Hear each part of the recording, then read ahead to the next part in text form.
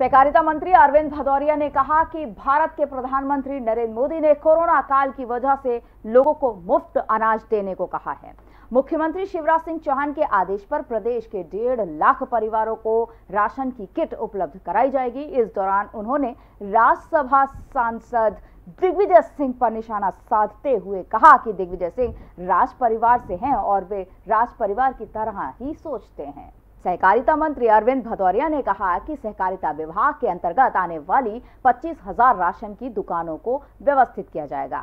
मुख्यमंत्री शिवराज सिंह चौहान के आदेश पर प्रदेश के डेढ़ लाख परिवारों को राशन की किट उपलब्ध कराई जाएगी, जिस पर प्रधानमंत्री नरेंद्र मोदी और शिवराज सिंह चौहान की फ़ोटो होगी। उन्होंने दिग्विजय सिंह पर निशाना साधते हुए कहा कि दिग्विजय सिंह पुरानी यादों को भूल नहीं पा रहे हैं। वे अब भी पुराने सपने ही देखते हैं। उनकी सरकार में ही मंत्री रहे उमंग सिंगार ने राशन और खनिज घोटालों में उनके शामिल होने पर उन पर आरोप लगाया था। वे राज परिवार से आते हैं और उनकी सोच राज परिवारों जैसी ही है। देश के प्रधानमंत्री और प्रदेश के मुख्यमंत्री शिवराज सिंह चौहान पारदर्शिता में विश्वास रखते हैं। हमारे प्रधानमंत्री और मुख्यमंत्री अगर किसी योजना को क्रियान्वित कर रहे हैं और उसमें पैसा दे रहे हैं तो उनका नाम या उनका फ़ोटो क्यों नहीं आना चाहिए? एक्चुअली दिग्विजय सिंह जी की यादें जो पुरानी है, वो जाती नहीं है। वो अपने पुराने ख्वाबों में जीते रहते हैं। जब वो दिग्विजय सिंह जी, कमलनाथ जी की सरकार थी तो ये बात मैं नहीं कह रहा हूँ, उनके ही वन मंत्री उमंग सिंगार कहा करते थे। ये राशन के घोटालेबाज है, ये माइनिंग के घोटालेबाज है, ये अनंत प्रकार के घोटालेबाज है। इसे दिग्विजय सिंह जी को हर अच्छी गरीब आदमी के लिए जो चीज़ उपयोग में होती है, या जो गरीब हित की जो योजनाएँ होती है, उस सबको दिग्विजय सिंह के पेट में पीड़ा हो जाती है, क्योंकि वो कभी भी नहीं चाहते एक सामंती सोच के व्यक्ति है दिग्विजय सिंह जी।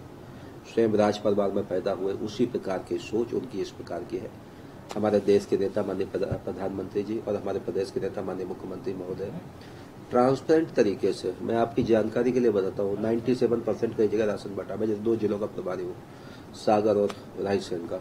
तो इसके लिए अलग से मैंने मीटिंग की है, और मैंने कहा अगली बार जब हम आएँगे, कोई भी एक भी व्यक्ति अगर होगा तो छोड़ा नहीं जाएगा, कितने भी अहदेदार हो, किसी भी पार्टी से संबंध हो, कोई भी हो। इसलिए व्यवस्थित ट्रांसपेरेंट तरीके से अभी फास्ट पियोर्स मशीन के द्वारा दे रहे हैं। हम उसमें भी नया तरीका सोच रहे हैं कि क्या और क्या हो सकता है। सीएम साहब ने मुझे निर्देश दिए हैं। हम दोनों मंत्रियों को उसमें सोचो क्या हो सकता है। जैसे हम लोग कई बार एटीएम में कार्ड डालते हैं, तुरंत तो हमारे पास एसएमएस आ जाता है। तो और ट्रांसपेरेंट व्यवस्था क्या हो सकती है उसके बारे में हम लोग और सोच रहे हैं।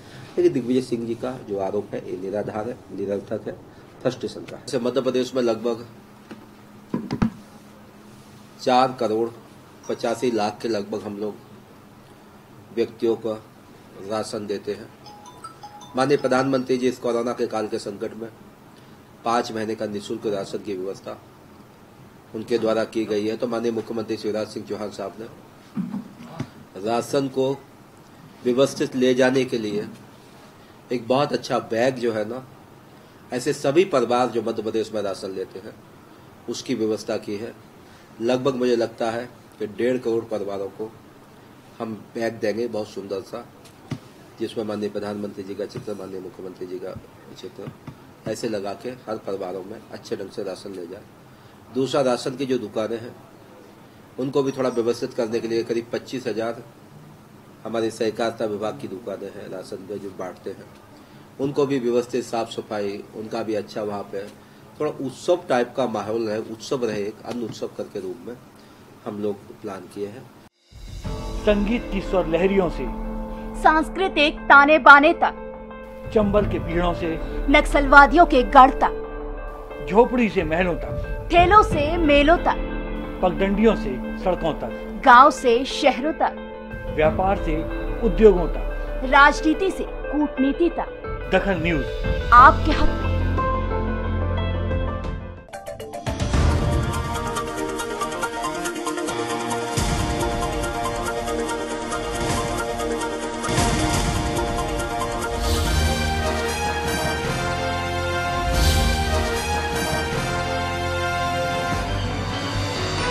आप देख रहे हैं दखल न्यूज़।